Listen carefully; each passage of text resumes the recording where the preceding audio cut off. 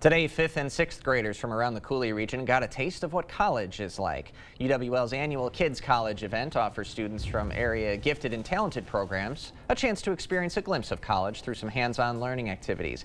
Kids today learned about everything from physical therapy to art and earth science. We spoke with De Soto's gifted and talented coordinator who explains the benefits of this program.